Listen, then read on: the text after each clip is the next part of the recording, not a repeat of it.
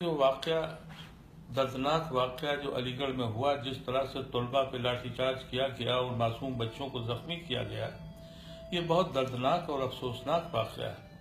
لیکن میں سمجھتا یہ ہوں کہ یہ حیرت انگیز، مجھے حیرت میں نہیں ڈالا اس نے، کیونکہ میں اس بات کا تصور کر رہا ہوں۔ کیونکہ یہ ایک پلاننگ کے تحت ہوا ہے جو ستر سال پہلے آر ایس ایس نے یہ طے کر لیا تھا کہ جب تک اس دستگاہ کو ختم نہیں کریں گے، ہندوستان میں مسلمانوں پہ قابض نہیں ہو سکتے۔ کیونکہ اس دستگاہ کا نعرہ یہ ہے کہ جو جو اب یہاں سے اٹھا ہے، وہ سارے جہاں پہ برسے گا۔ یہ خوف ان کو ہے کہ کہیں ایسا نہ ہو کہ وہ ابر پھر اٹھ جائے۔ لیکن بدنصیبی یہ ہے کہ ہم لوگوں نے اس کو سمجھا نہیں ہے۔ یہ معصوم بچے مجھے صرف خوف اس بات کا ہے کہ یہ معصوم بچے اس بات کو سمجھ نہیں رہے کہیں جذبات میں آ کے ایسا نہ کریں کہ ان کا وہ فارمولا کامیاب ہو جائے۔ اس لیے میں بچوں سے کہنا چاہتا ہوں کہ جلد بازی نہ کرو، بلکہ اپنے سینئر سے، اپنے بڑوں سے، اپنے اساتذہ سے بات کر کے طے کرو۔ مشکل تو یہ ہے کہ میں بہت دنوں سے اپنے طلباء سے کہتا ہوں، نوجوانوں سے کہ خدا کرے کہ تمہاری سمجھ میں آ جائے، لیکن بدنصیبی یہ ہے کہ پچھلے چند سالوں سے علی گڑھ یونین، جس کا کام تھا کہ قیادت پیدا کرے، میری ایک بڑی خواہش تھی اور میری آرزو تھی اور میری تمنا بھی تھی اور میرا یقین بھی تھا کہ علی گڑھ کوئی کنہیا پیدا کرے گا۔ علی گڑھ کوئی شہلا راشد پیدا کرے گی۔ علی گڑھ کوئی عمر فاروق پیدا کرے گا۔ لیکن وہاں یہ نہیں پیدا ہو رہے۔ ہیں وہاں لیڈر پیدا ہو رہا ہے۔ کہ کسی نہ کسی طرح سے کسی پارٹی کا غلام بن کے اور اس کی قیادت اور اس کی چمچا گیری اور اس کی غلامی کرے۔ یہی وجہ ہے، یہی خوف مجھے کھائے جا رہا ہے کہ یہ سیاسی پارٹیاں ان نوجوان بچوں کو اپنے دربار میں بلا کر، اپنا غلام بنا کر کہیں ایسا نہ کریں کہ علی گڑھ کو ایک ایک اس کنارے کھڑا کر دیں کہ ہندو مسلم بن جائے۔ میں چاہتا ہوں کہ علی گڑھ برادری، پورے دنیا کی عالمی برادری جو جہاں اس کی ذمہ داری بنتی ہے کہ اس درسگاہ کو بچا لے، اس تحریک کو بچا لے، سر سید کی یہ تحریک کا ایک یہ بتخانہ ہے، یہ سر سید کی تحریک کی وہ درسگاہ ہے جہاں سے سب کو سوچنا پڑے گا۔ جو لوگ بھی ہندوستان سے باہر ہیں اور مختلف جگہوں پر ہیں، جو المنائی ہیں، وہ اپنے اپنے ملک میں جہاں بھی بسر کر رہے ہیں، وہ ان حکومتوں کو بتا دیں۔ کہ یہ ملک خطرے میں پڑ گیا ہے۔ وہ بتا دیں کہ اس ملک میں جو ویری آئیڈیا آف انڈیا خطرے میں ہے، یہاں جمہوریت نہیں ہے۔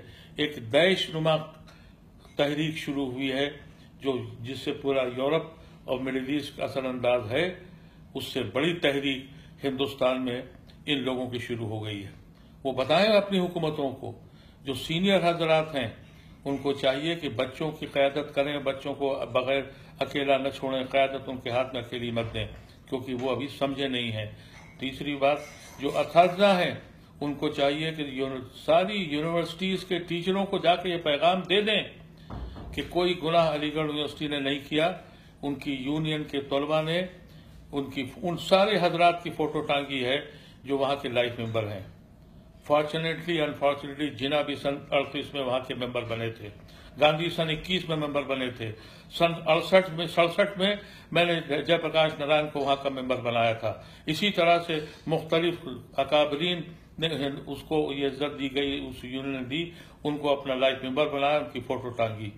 لیکن یہ تماشا صرف اس لیے کیا گیا کہ الیکشن آنے سے پہلے اس کو ہندو مسلم کیا جائے اور کہیں ایسا نہ ہو کہ بچے اس میں پھنس جائیں۔ تیسری اور آخری بات میں ان لوگوں سے کہنا چاہتا ہوں کہ آپ سب لوگ اس کو اس میں خاموش نہیں رہنے کی ضرورت ہے۔ میں آج ہمارے بیچ میں سب سے سینئر حامد انصاری صاحب ہیں جو سب سے زیادہ ریسپیکٹڈ آدمی ہیں۔ ان کو بھی مودی نے ان کے ان کے فیئر کے اوپر پارلیمنٹ میں طنز کرتے ہوئے کہا تھا کہ جائیے اپنے مسلمانوں پہ جا کے کام کیجیے۔ میں حامد انصاری بھائی سے بھی کہنا چاہتا ہوں کہ اب آپ کی بھی ذمہ داری بنتی ہے۔ آپ اس ملک کے نائب صدر ہی نہیں رہے، آپ اس ملک کے علی گڑھ یونیورسٹی کے وائس چانسلر ہی نہیں رہے، آپ علی گڑھ مسلم یونیورسٹی کی درسگاہ کے ایک ہونہار اور ایک ایسے ایسے طالب پیدا ہوئے جس کے اوپر آج پورا علی گڑھ برادری آپ پہ فخر کرتی ہے۔ آپ کی بھی ذمہ داری بنتی ہے۔ آپ بتائیے آنا دکھائیے کہ کیوں ہو رہا ہے یہ۔ آپ بتائیے کہ ان بچوں کے ساتھ ایسا ظلم کیوں کیا گیا۔ آپ بتائیے کہ بچوں کی قیادت کو گمراہ کرنے کی کوشش کیوں ہو رہی ہے۔ ہم سب کی ذمہ داری بنتی ہے۔ اور میں ان بچوں سے کہنا چاہتا ہوں کہ تم سیاسی پارٹیوں کے آگے مت گھومو، بلکہ دانشوروں کے بیچ میں جاؤ۔ پورے پوری علی گڑھ برادری کے جتنے بھی لوگ ہیں، ساری یونیورسٹیز میں جائیں۔ اپنی یونیورسٹیز میں، مختلف یونیورسٹیز کے لڑکوں کو چاہے جے ڈی یو ہو، چاہے دہلی ہو، چاہے بنارس ہو، چاہے الہ آباد ہو، وہاں جا کے بتائیں کہ ان کے ساتھ کیا ہو رہا ہے۔ روز ان کو کس طرح سے جاہل قسم کے لوگ ایک وہ شخص وہاں کا ایم پی جو فقط دسواں پاس ہے، جس نے یونیورسٹی کا گیٹ نہیں دیکھا، علی گڑھ مسلم یونیورسٹی کی بدنصیبی ہے کہ انہوں نے اس شخص کو بھی علی گڑھ کے اندر بلا لیا۔ اور اس وائس چانسلر نے، ہمارے وائس چانسلر نے بھی اس کو دعوت نامہ دے دیا۔ ایسے جاہلوں کو یونیورسٹی کے اندر داخل نہیں ہونے دینا چاہیے۔ ہم کہنا چاہتے ہیں اپنے بچوں سے صبر سے کام لینا، لیکن مایوس مت ہونا۔ ہمیشہ حق کی بات کرنا، ڈرنا نہیں۔ لیکن پاگلوں کی طرح کوئی ایسا فیصلہ مت کرنا جس سے دوسروں کو فائدہ ہو جائے۔ میں ان آواز کے ساتھ میں آج ہندوستان سے باہر ہوں۔ واپس آؤں گا جلد۔ انشاءاللہ مجھ سے جو کچھ ہو سکتا ہے کروں گا۔ جہاں بھی جاؤں گا یہ بتاؤں گا اپنی برادری سے کہ یہ گھروں میں بیٹھنے کی ضرورت نہیں ہے۔ یہ آخری قلعہ ہے۔ اسی طرح سے جس طرح سے ٹیپو سلطان کی فتح کے بعد انگریزوں نے بالکل جس طرح سے ہندوستان پہ قبضہ کر لیا تھا دسگاہ اگر چلی گئی۔